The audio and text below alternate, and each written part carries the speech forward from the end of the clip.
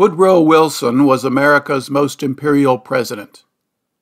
He believed in American superiority and using military force to unite the world under a League of Nations based in New York.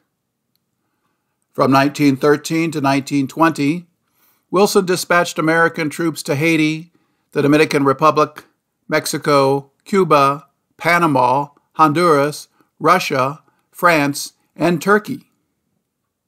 He manipulated the American people into a disastrous intervention in World War I, which prolonged the war, killed millions more, and led to World War II.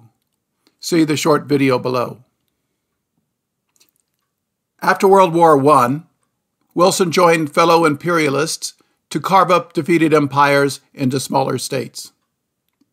Austria Hungary and the Ottoman Empire were dismembered. France grabbed an oil rich region that became known as Syria, while Britain seized oil rich Iraq and Cyprus. The remainder of the Ottoman Empire was less valuable and filled with intermixed ethnic groups who were promised their own nations. The Allies supported a Greek invasion of western Turkey to reclaim lands lost centuries before, while Armenia was granted lands it once ruled, but now occupied mostly by Turks. Other ethnic groups wanted independent nations, but that was difficult as there were no clear boundaries. Turk officers dominated the Ottoman army and rebelled against the Ottoman royalty. They considered the concessions granted the Allies for peace too extreme. Rebellious Turks quickly defeated the few loyal royal forces and formed a secular government in 1920. The victorious Allies had withdrawn most occupation forces from Turkey and were not interested in fighting to create new nations of no significance. Turkey played no role in the American economy and was of no interest to Americans or members of Congress. However, President Wilson saw an opportunity for another American crusade. He ordered the U.S. Navy to deploy a dozen warships to the Black Sea and landed forces to secure ports.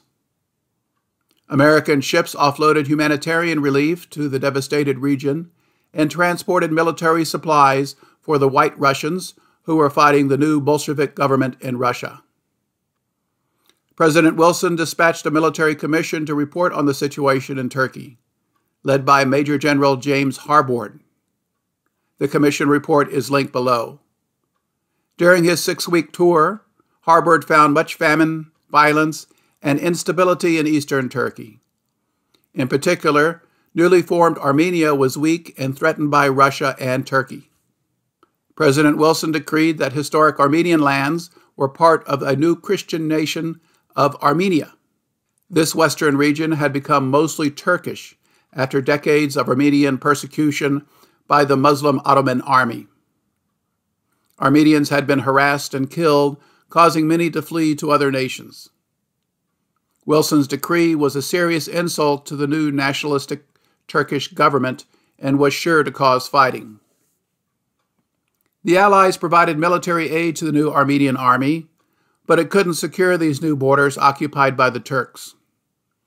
After the revitalized Turkish army drove out the invading Greek army in the west, it moved forces eastward to threaten Armenia. President Wilson was eager to provide direct military support even though General Harbord reported this could require up to 200,000 American troops. A massive American military expedition would face danger since the Turks could attack British forces guarding the entrance to the Black Sea and shut off that route. In addition, the British and Americans had dispatched some forces to fight against the new Bolshevik government in northern Russia. Russian forces now advanced southward to reclaim lands in the Caucasus to include parts of Armenia. Placing an American force into Armenia was madness. Nevertheless, President Wilson asked the United States Congress for the authority to establish a mandate for Armenia on May 24, 1920, that would fund a huge American military expedition to Turkey. The United States Senate rejected his request by a vote of 52 to 23 on June 1, 1920. In September 1920, the Turkish Armenian War broke out. The First Republic of Armenia was defeated in November 1920 and gave up territorial claims to Western Armenia that President Wilson had promised. Thousands more Armenians were slaughtered during this war. Within a year, Russian forces had invaded Armenia to form a new republic for the Soviet Union.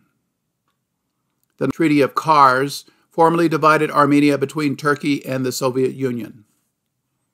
The U.S. Navy continued humanitarian aid and evacuated refugees until it withdrew from the Black Sea in 1924. Thousands of Armenian refugees immigrated to the United States, and almost 2 million Americans claim Armenian descent today. They advocate for their homeland and demand that Turkey apologize for the deaths of a half million Armenians that they call a genocide. Turkey refuses and insists that all ethnic groups suffered during World War I and the collapse of the Ottoman Empire, and Armenian deaths were unfortunate casualties of war. Had President Wilson succeeded in dispatching a huge military expedition to Armenia, thousands of American troops could have become casualties too.